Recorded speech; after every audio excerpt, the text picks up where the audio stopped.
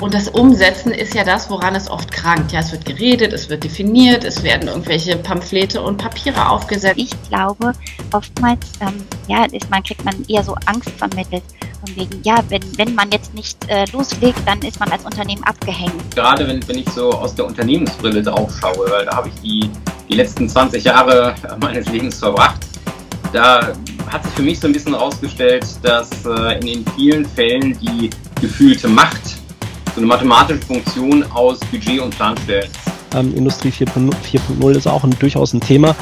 Ähm, und ich meine, das Ganze wird eben digitaler. Dieses eigentliche Machen und Tun und probier es doch mal aus, weckt an mancher Stelle auch viel, viel mehr Neugier und auch einen Willen, etwas zu machen.